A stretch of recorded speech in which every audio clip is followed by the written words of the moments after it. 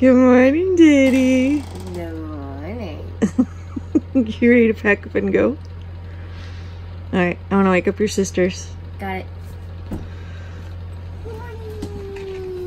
Andy's awake. Andy's not awake. Good morning, Mama. Sarah's definitely not awake. Sarah's always the last. Gideon's usually first. Hi. I was second today. It's moving day. After 10 years of homeschooling, school was becoming a drag. We want our kids to embrace the lifelong adventure of learning. So we decided to sell our comfortable suburban home and make the world our classroom. Joe, Trisha, Hannah, Sarah, Gideon, Izzy, and Penny Dog. We are doing life deliberately. Good morning. It's about 7:30 in the morning. I am the only one up. Well, not the only one. Penny Dog's awake. And it's moving day, and I still got some sleepy lines on my face, uh, but I threw on the hat, and we're gonna bring you guys along today for what it's like to tear down and set up on a moving day. If you buy a new travel trailer or get a used one through a dealership, um, most of them will give you a tour of your rig and show you how to do everything, but um, there are basics. And so we'll take you through today's and uh, then we'll send you home with a little parting gift. How does that sound? So come along. I'm gonna go wake up the kids now.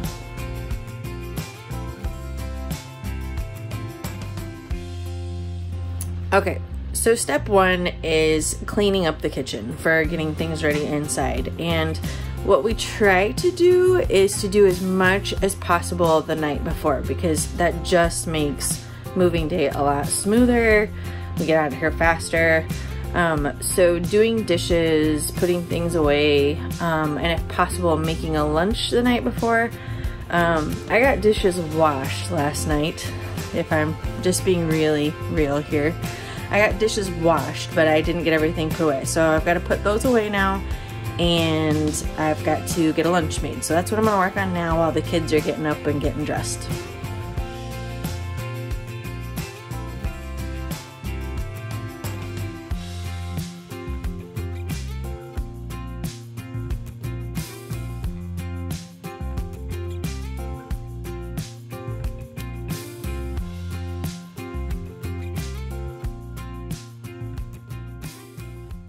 So when we set up and tear down, everything happens simultaneously. While we've got things going on inside, there are things going on outside. And the kids all have different uh, chores or roles that they do to help things move along. So, Gideon, what is your number one role on moving day? Uh, so what I do is I pick up my area inside, and then I come outside and take down all four stabilizers. So while I go finish cleaning up inside, Gideon is going to take care of the stabilizers outside.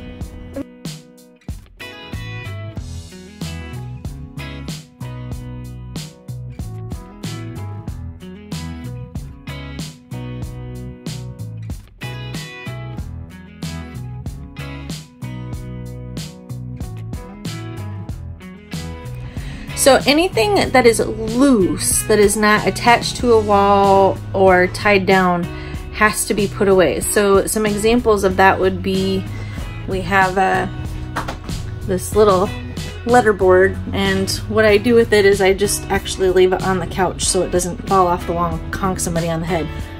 The kids are wrapping up, cleaning up the room. They've got to make their beds and get everything off the floor right?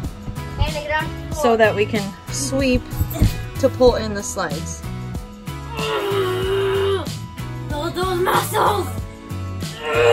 did it!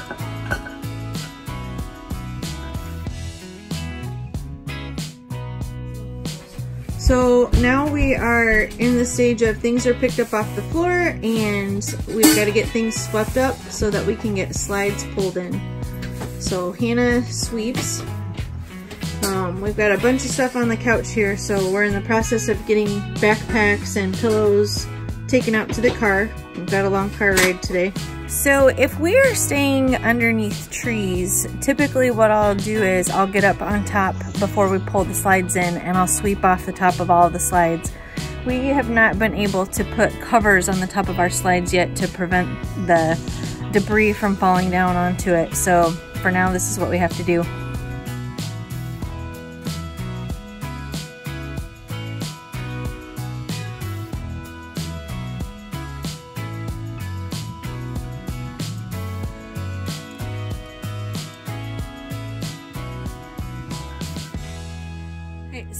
Thing that we do to kind of help speed up the process on moving day is we put all of the lawn chairs away. Any lawn chairs, um, tables, if we have a trash can out here, we try to get that cleaned up the night before. And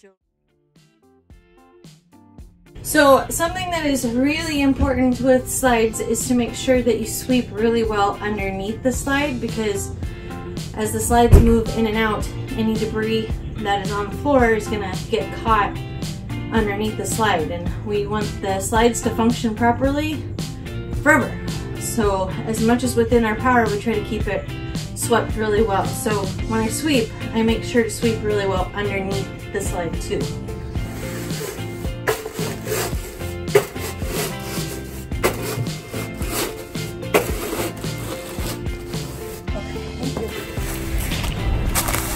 I'm unhooking the water.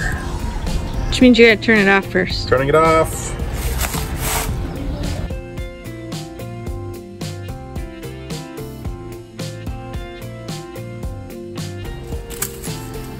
This is the water pressure regulator and water filter put away. I drain the water out of the hose.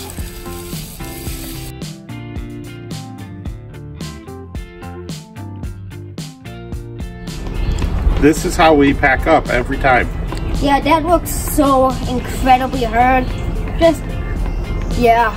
I did the water hose and now I need a, a break. Mm-hmm. Slide three first, Need to come in. getting the window.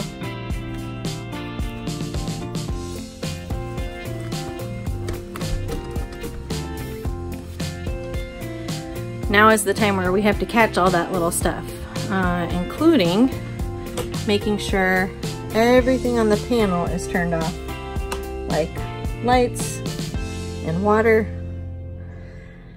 Now we're gonna do slide three. Joe and I use walkie-talkies to communicate with each other when he's outside and I'm inside. And this, these are also very helpful for when we are hitching or if we're pulling in and out of tight spaces and I can communicate with him from outside of the car. So we're gonna pull on slides now. Slide three coming in. Slide three coming in.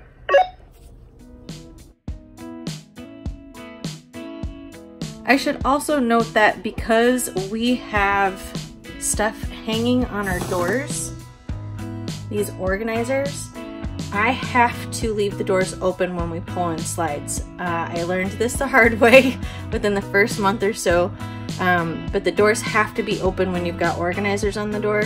Otherwise, you will end up pulling off these side pieces here when you slide out or in. So don't do that. Make sure your doors are open if you have organizers on your doors. So before we bring in the kitchen slide, it's really important to check all the cabinets and make sure that everything is closed up real well. If anything is not closed all the way, when the slide comes in, there could be damage, especially for our pantry. So I've got to make sure that the fridge and freezer are buckled shut. These guys are pushed in all the way. And then I just double check all of the drawers. Make sure everything is shut tight. Looks good. Are we good for slide number four? Slide four, good to go. Go ahead and bring slide four in. All slides are good to go. So one thing that I forgot to mention before we pulled all the slides in was that you need to make sure that all the vents are closed and all the windows are closed. It is a pain in the hiney to open slides back up to get to bunkhouse windows that were not closed all the way or the master bedroom window that's not closed all the way and it's also difficult to get to vents if they're not closed. So just things to be aware of before you pull all the slides in. Time for electric? Time for electric.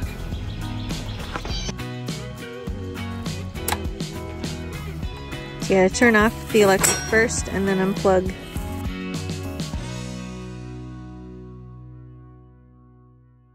So this is the surge protector and it's really tempting to leave this on the ground or just right here as I put the cable away, but this is something that could be easily left behind. I've seen other uh, RVers leave behind uh, adapters, dog bones, they're called.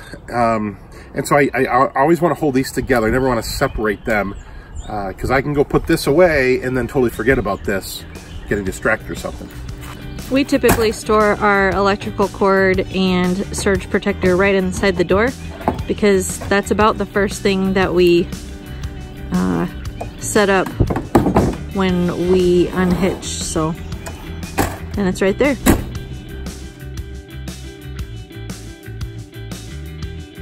Gideon's become a pretty awesome helper, even with hitching up, which is a super important job.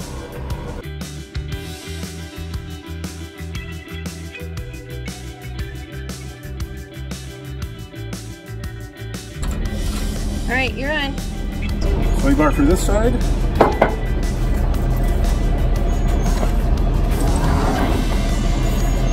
Sway bar for this side. First thing we do is take out these pins.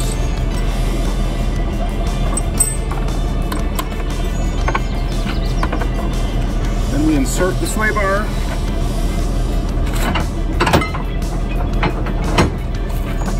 Put the pin back in. Lock the pin.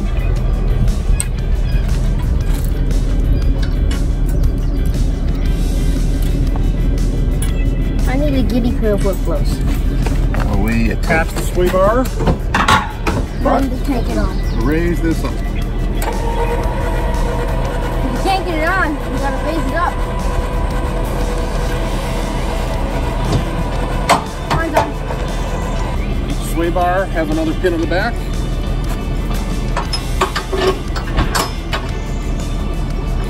Now we take the weight off the tongue support. First we gotta put this one on. Emergency brake. The first, with the old one, you could actually put this one around it.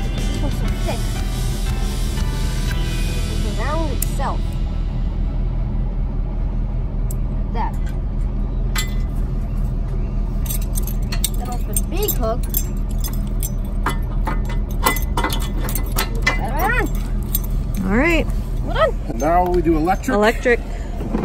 which I have forgotten before, not just once, And that's a problem too. because it controls the brakes.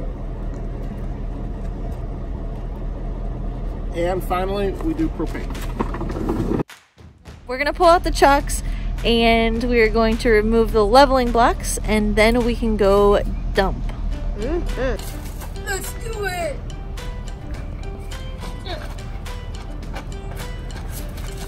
Not hard at all.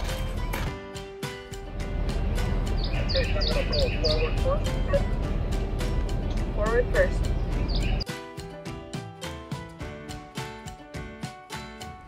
All right, so everything's hooked up. We're ready to pull out, but the last thing I do is a final walk around just to see if we forgot anything. I'm looking at tires, tire levels. So I'm looking at the hitch here, making sure everything's hitched up. All the pins are in. I'm making sure doors are closed, slides are in. Making sure the sewer is closed. Slides are in, windows, tires.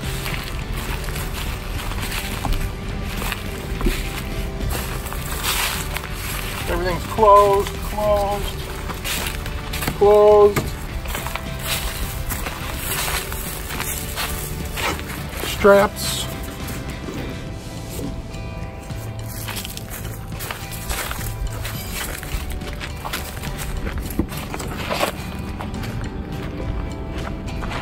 Tires, tires, windows, doors, stairs,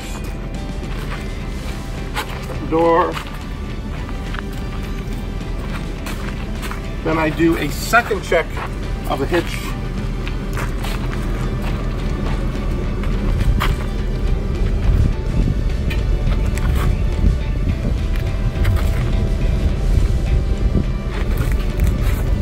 looking at the tire levels, see if there's any bulging.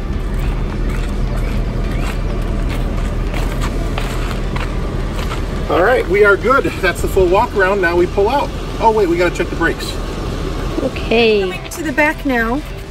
Joe's gonna walkie me and we're checking brakes and signals to make sure that everything's working right. Okay. Okay, brakes look good. Left signal, right signal. We are good to go. All right, coming back.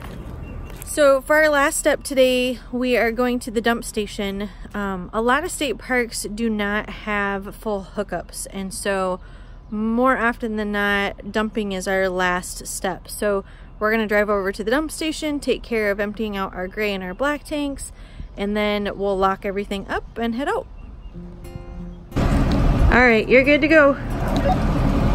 All right, so as I pull out to the driver's side, I need you to watch the blind side, which is the passenger side. You tell me if I'm gonna hit anything, okay? Sounds good.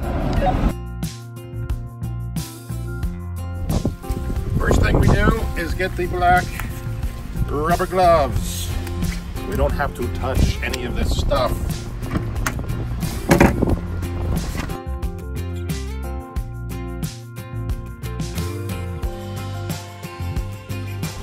Then while that first gray water tank is dumping, Joe is hooking up the hose so that he can clean out the black water tank. We're just able to get a more thorough cleanse in there if he is pumping water into it as we are dumping. So this is what we have found to be the most time effective way, especially when you got somebody waiting behind you.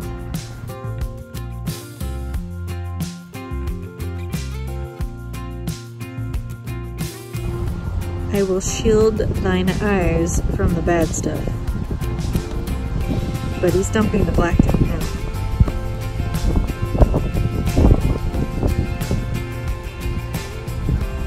But you can see he's got the water hose hooked in there, so when he's ready, he'll turn that on and he'll probably close the black tank up a little bit and let that water run and just kind of fill up. And we'll do that a few times just to give it a good rinse. See, he's counting for how long to leave the water running in there with the valve closed. And then he'll open it up and let it run through again. So Joe just finished with the dumping, so I'm going to quickly lock up and then we're ready to hit the road.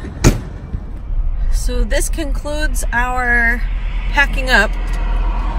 Today took a lot longer than normal, but a lot of that is because we're trying to share with you what it looks like to pack That's how much up. we love you! So now we have probably about a seven hour drive to Durham, North Carolina.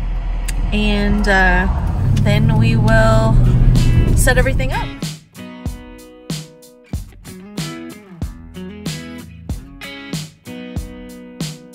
Well, we made it to our campsite in Durham, North Carolina at Falls Lake State Park. And the first thing that we do whenever we get to a campsite is we kind of scope things out, get a lay of the land, and kind of figure out where exactly we want to put the trailer. So we're gonna go look at that now. Our site is huge. There's this great big area behind where the RV goes for campfires and picnicking and... Okay, you're good. All right, I'm backing up now. Okay, bring that in hard to the passenger side now. Keep bringing it passenger side.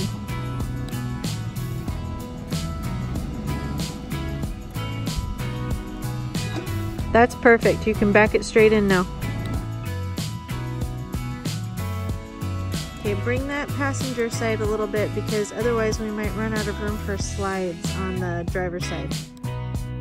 Okay, I'm gonna swing the back toward the passenger side. That's right.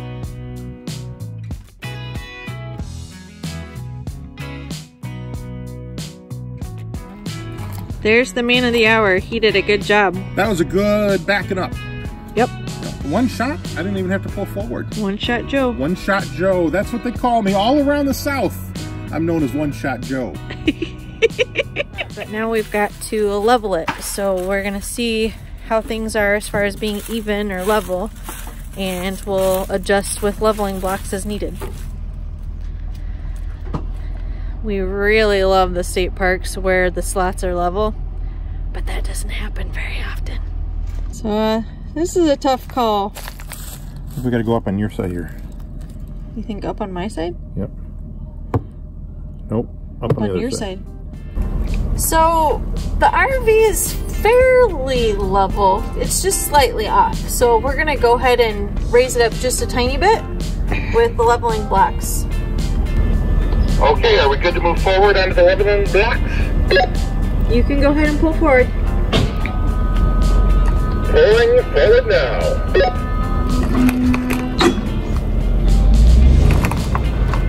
Okay, stop. Back down a little bit. Backing up. Okay, hold it there. Okay, you can go ahead and put it in park. Okay, the truck is in park and the parking brake is on. I am getting out. Okay, so we have the leveling blocks on that side. So now I'm gonna put the chocks in this side. At least at this point, we're trying to get the sway bars off first.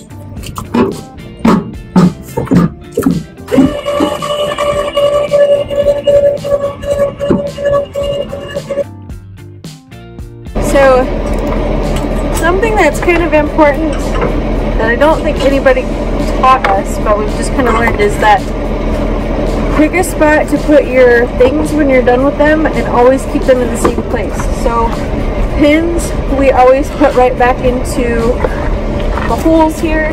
We store the sway bars in the same spot every time. These clip pieces for the sway bars we always put back in the same place. Sway bar clips.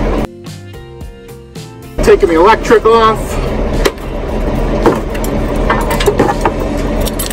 Taking the chains and the emergency brake off.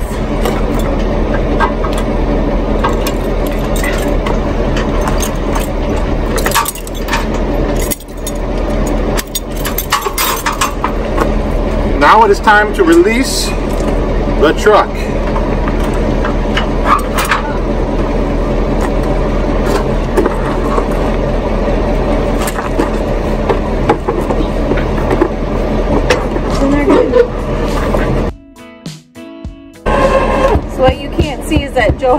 Small level on the other side back here. And he's watching as I'm extending the front of the So that Trailer. helps us level it front to back. Almost there. Three, two, one, stop. We are level all the way around. So again, put the pin back where it goes. Now Trisha is going to go hook up the electric. Uh, it's a 30 amp service, so we're going to have to use that dog bone uh, Attachment or adapter. adapter. And I'm going to turn on the propane before I forget. Sounds good.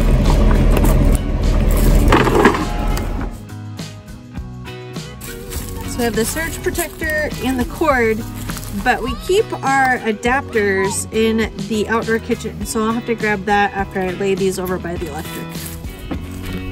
So this is the adapter. Uh, so the power that we have is 30 amp service, which is the three prongs. And we have to take that down to uh, four prongs, which is the 50 amp, which is our RV. So I'm plugging the adapter in. Now I plug the surge protector into that. I plug the 50 amp RV cord cable into this.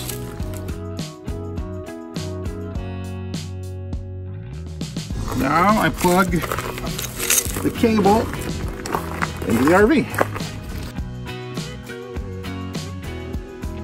And we should have power. Should be water. So this is the water hose we took off this morning. Now we have to reconnect it.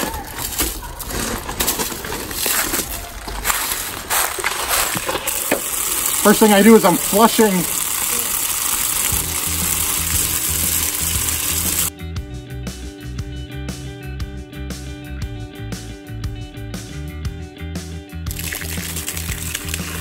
flushing, so I'm flushing.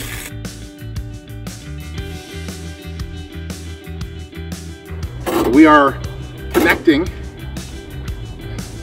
the? Water pressure Regulator. regulator and the filter.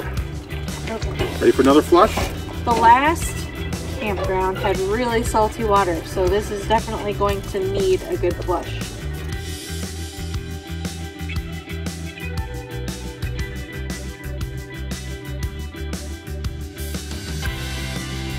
So Joe is hooking up the water filter to the short little hose that we have in the back of the RV here. I'll bring you around the bike so you can see what it looks like. It's just a short little connection that makes it a lot easier to connect to that water. And what else do we have, Joe? Yeah, I'm trying to connect this outside hose. What do we use that for? Uh, that's the outside shower. For washing feet. We use it for the grill. And now I'm going to use it to flush the water pipes inside because of all that salt water from the last campground.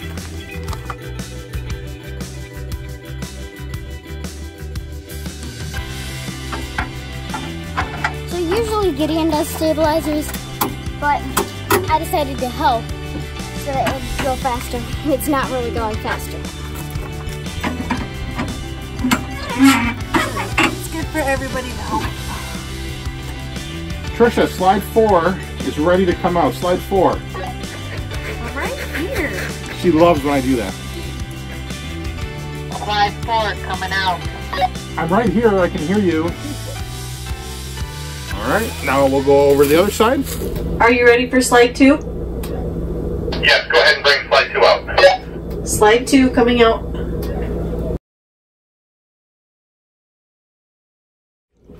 We take slides in and out, we're looking on the outside. Joe's always on the outside and I'm on the inside. And we're always on the lookout for anything abnormal. Are there doors popping open? Is there anything that's gonna catch that could get in the way of the slide coming in or out? Um, we wanna minimize damage as much as possible and we move a lot. So it's really important to do this as a team and be really attentive to what's going on. All right. Go ahead and bring slide three out. Slide three coming out. Okay, I have to adjust some things on the shelf before I put it all the way out. So oftentimes with the slides, we have to bring it out halfway and make sure nothing is obstructing it on the inside. That's what Trisha's doing right now. Once she moves things from the shelf in the in the bunkhouse, then we can bring the slide the rest of the way out. We had piano books and some fishing lures in the way. Piano books and fishing lures. Okay, looks good. Slide three coming out the rest of the way. Slide three coming out all the way. Bring it home, baby. Bring it home. All right, go ahead and slide one. You can bring slide one out. Slide one coming out.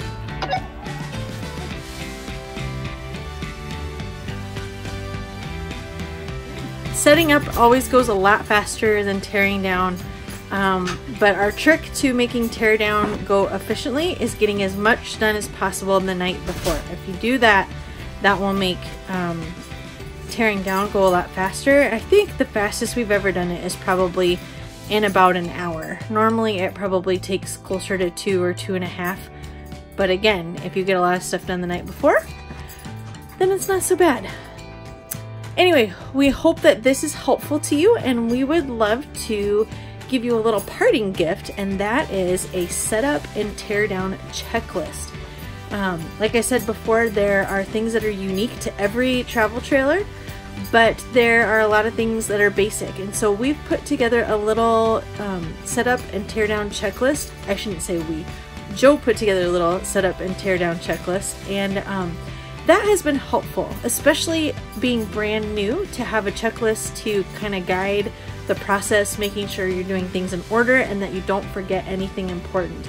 So if you would like that, you can click the link in our description box below. That'll take you to our website and you can sign up for our mailing list and we would love to send that to you. We hope that you found this video helpful and we'll hope that you'll give us a thumbs up if you like it and subscribe to our channel if you enjoy learning adventures. We'd love to just share what we're learning um, both as RVers and homeschoolers and road schoolers and uh, hope you'll tag along. All right, see you soon.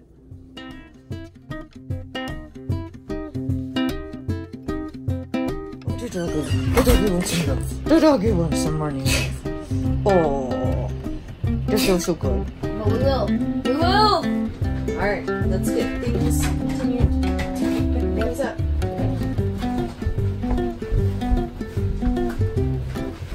So the last step before we pull out of our site is to pull out the chucks and to take out the leveling blocks. You need the Chucks? chocks on the side. Chalks? You said chucks. I did. So the last step before we pull out is to take out the chucks. I called it the wrong thing. You call them chucks. Chocks. That's not a compliment. Ooh, yeah, not those. Mm. No, not the same. Okay, so we're